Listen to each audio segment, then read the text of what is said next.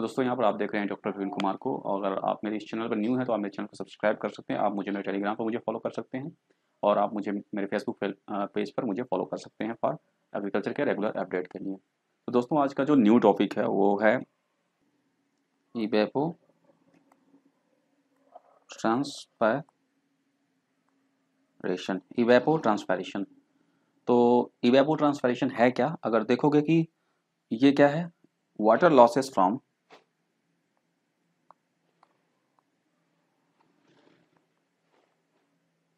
both plant surface and soil surface. इस दोनों process को क्या बोलते हैं? इवेपो ट्रांसपेरेशन और जो वाटर का लॉसेज होगा वो किस फॉर्म में? आपका वेपर्स के फॉर्म में होगा। तो आप देखोगे, जैसे ये है ना evapotranspiration is the sum of evapo, evaporation and plant transpiration from the earth land and ocean surface to the atmosphere. तो मैंने जो बताया कि both from plant as well as from the earth surface और ओशन तो उसको बोलते हैं इवेपो ट्रांसपायरेशन इसमें देख रहे होगे trans plant transpiration plus evaporation दोनों क्लब टुगेदर है। और जो भी हम वाटर सप्लाई करते हैं, ये माना जाता है कि जो उसका 99 परसेंट जो है आपका वो है लॉस होता है in the form of evapotranspiration ठीक है? ओनली वन परसेंट के करीबन जो है आपका प्लांट यूज़ करता है मेटाबॉलिक एक्टिविटीज़ के लिए। ठीक है? तो कह सकते हो कि टोटल जितना आप सप्लाई करते हो करीबन 99 परसेंट आपका लॉस हो जाता है in the form of evapotranspiration दूसरा जो हम टॉपिक डिस्कस कर, डिस्कस करेंगे वो है potential, evapo transpiration potential evapotranspiration क्या है? तो आपका मान लीजिए जो आपका जो इन्वायरमेंट है, इसकी एक डिमांड होती है। और जो यूजुअल हमारे इवेपो ट्रांसफरेशन होते हैं, ये मे भी सम फेवरेबल कंडीशन में हो सकते हैं और मे भी सम इन लिमिटेड कंडीशन में हो सकते हैं। लेकिन एक इन्वायरमेंट जो पर्टिकुलर इन्वायरमेंट होता है, उसकी एक डिमांड होती है। तो सपोज़ उस डिमांड को आप रिप्रेजेंट करना चाहते हो, कितना इवेपो ट्रांसफरेशन है तो उसको बोलते हैं पोटेंशियल इवेपो ट्रांसफरेशन जैसे आप देखो, यहाँ कह रहा है potential evapotranspiration is a representation of the environmental demand for evapotranspiration का जो इन्वायरमेंटल डिमांड है, उसको आप रिप्रेजेंट करते हो कैसे? In the form of potential evapotranspiration और कैसे पॉसिबल हो सकता है? And represent the evapotranspiration rate of short green crop specially grasses होती हैं completely shading the ground of uniform height with adequate water status in the soil profile अगर मान लीजिए कोई आपका एरिया है, आपने यहाँ पर ऑप्टिमम जो है मॉइस्चर मेंटेन कर रखा है और इसमें जो ग्रासेस हैं, पूरी साइडिंग कर रखा है, पूरी जो है आपकी फ़ील्ड है, ये ग्रास के द्वारा ढकी हुई है, पूरी ढकी है ये पूरी। और at a uniform height means इसकी जो हाइट है ग्रास की, वो भी यूनिफॉर्म होनी चाहिए। तो देख लीजिए पानी का कोई लिमिटेशन नहीं है वाटर का कोई लिमिटेशन नहीं है और एक्टिवली आपका पूरा ग्रास कवर्ड एरिया है तो जो यहाँ से वाटर का लॉस होगा in the form of ET उसको क्या बोलेंगे? रिप्रेजेंटेशन ऑफ़ इन्वायरमेंटल डिमांड क्योंकि यहाँ पर कोई लिमिटेशन नहीं है तो जो यहाँ पर इवेपो ट्रांसपेरेशन होगा वो पोटेंशियल मैक्सिमम होगा तो उसको बोलते हैं पोटेंशियल इवेपो ट्रांसपेरेशन और ग्रासेस यूज़ करते हैं, ठीक है? और यूएस में इसको इसकी जगह पे अल्फ़ा अल्फ़ा भी यूज़ करते हैं, ठीक है? अब उसके बाद जो बात करेंगे कि जैसे अब मेज़रमेंट कैसे करोगे? मेज़रमेंट ऑफ़ इवेपोट्रांसपेरेशन कैसे करोगे?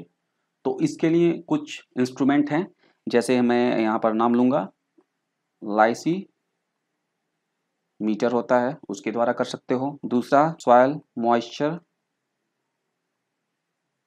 डिप्लेशन स्टडीज़ के द्वारा कर सकते हो। तीसरा ET can be measure by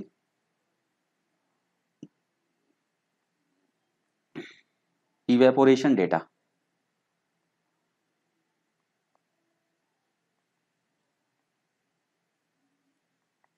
ठीक है? तो वहाँ पर क्या है आपको क्रॉप का जो कोफिशियंट है,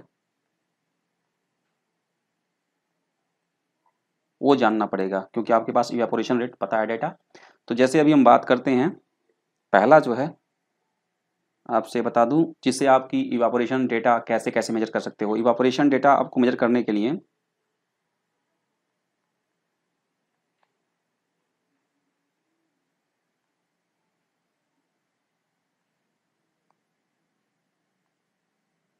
कौन कौन से हैं आपके? U S W B class A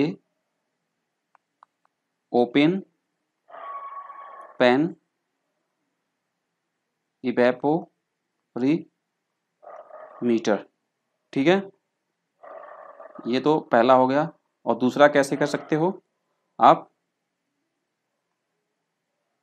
सनकेन screen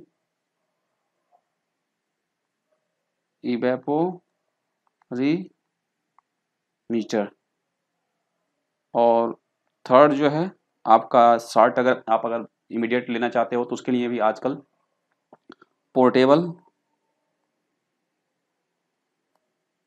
इवेपो metre available है, जिसे कर सकते हो। तो हम वन बाय वन करते हैं, जैसे मेज़रमेंट ऑफ़ ईटी e जहाँ पर आप इवेपोरेशन और ट्रांसपैरेशन दोनों मेजर कर सकते हो। इसके लिए मैंने बोला था पहला लाइसीमीटर तो लाइसीमीटर को मैं अगर आप दिखाऊँ तो ये देख सकते हो लाइसीमीटर है। यहाँ पर क्या है? ये आपका लाइसीमीटर होता है। ये मिमिक का जो नेचुरल फ़ील्ड होता है, उसमें हम लगा देते हैं और यहाँ एक मशीन होती है जिससे आप वेइंग मशीन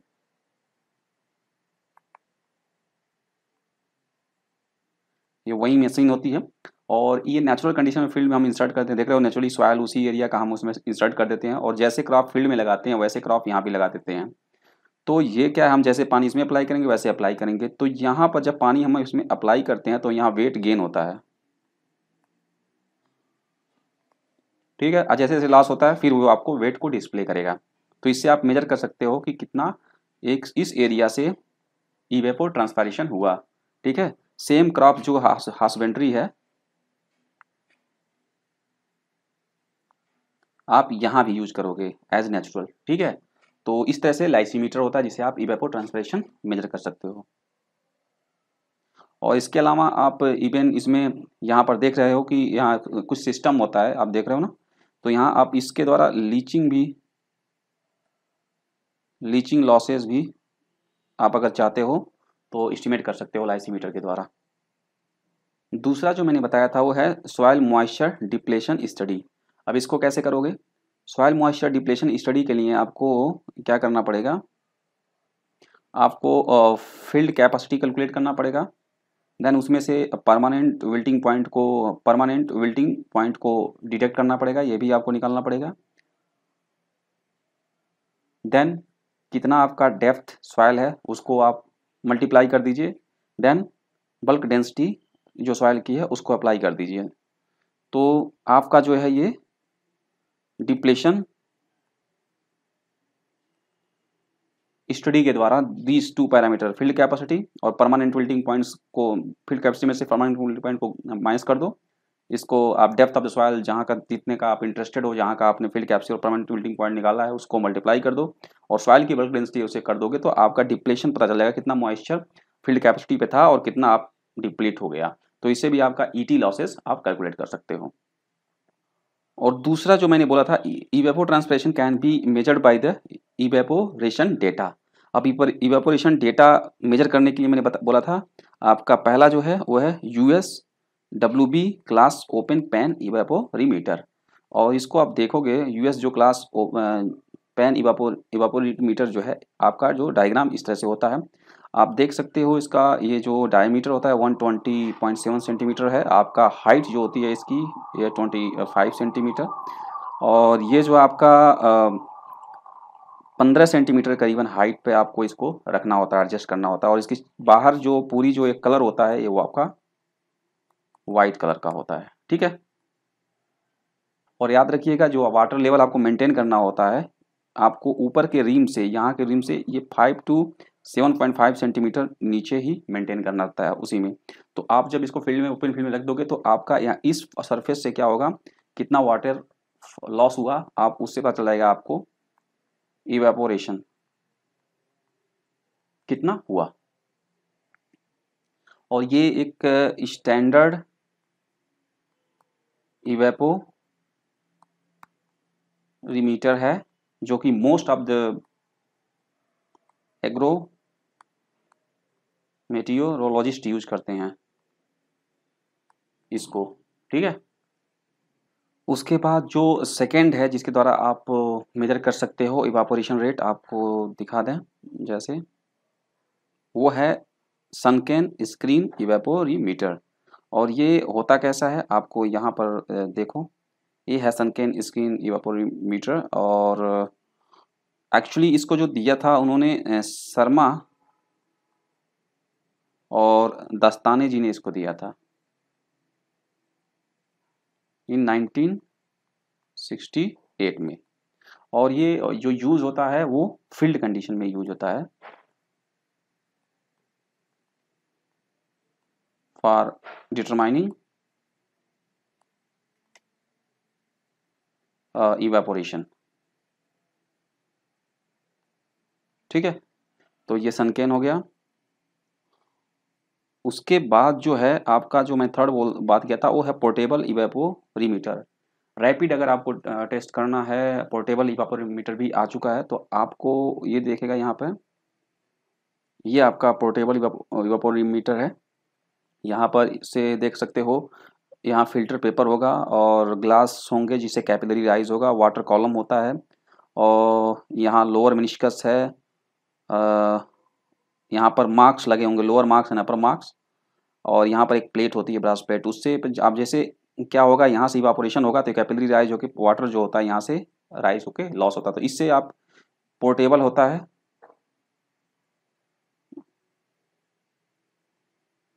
पोर्टेबल होता है, जिससे आप अपना इवापोरेशन डेटा कैलकुलेट कर सकते हो। तो ये तो डिफरेंट मेथड से जैसे कि आप इवापो ट्रांसफरेशन मेजर कर सकते हो और इवापोरेशन मेजर कर सकते हो। एक बार मैं आपको रिकवर कर देता हूँ कि जो भी मैंने ये बोला पोर्टेबल इवापोरेशन ये सनकेन इवापोरीमीटर मीटर और ये जो आपका यूएस क्लास जो U W B class open pan evaporimeter है, इससे क्या इवेपोरेशन रेट आप मेजर करते हो? लेकिन जो यहाँ पर मैंने आपको लाइसीमीटर बताया, इससे आप क्या है? इवेपो ट्रांसपायरेशन साथ में मेजर कर सकते हो और इसके साथ साथ आप लीचिंग लॉसेस भी आप इस्टीमेट कर सकते हो। ठीक है? वंस अगेन मैं बता दूँ, जो ये आपका पोटेंशियल इवापो ट्रांसपायरेशन है क्या है? ये इन्वायरमेंटल का जो डिमांड है होता है, उसका रिप्रेजेंटेशन करता है। मतलब पोटेंशियल कितना है फ्रॉम ए पार्टिकुलर एरिया कितना मैक्सिमम इवापोरेशन हो सकता है। वैसा फेवरेबल कंडीशन हम प्रोवाइड करके एस्टिमेट करते हैं पोटेंशियल इवापो ट्रांसप्रेशन और उसमें जो है हम ग्रासेज यूज़ करते हैं, उनकी हाइट यूनिफॉर्म होती है। और ऑप्टिमम सॉइल मॉइस्चर मेंटेन करते हैं। और जो इवेपो ट्रांसपायरेशन क्या है? ये सम है, दोनों का मिक्स है, किसका? इवेपोरेशन का और प्लांट ट्रांसपायरेशन का। दोनों को क्लब कर देंगे तो उसको बोलते हैं इवेपो ट्रांसपायरेशन तो उम्मीद करता हूँ ये वीडियो काफ़ी लेवल तक हेल्प होगा आप लोगों को, जो कन्फ्यूज़न है रिगार्डिंग दिस क्लियर करने के लिए, और आप लोगों ने कुछ जाना होगा। तो इस वीडियो कैसा था फीडबैक देना, दोस्तों में इसको शेयर करना, इस पेज को लाइक करना, और अगर नया हो तो इस चैनल को सब्सक्राइब करना।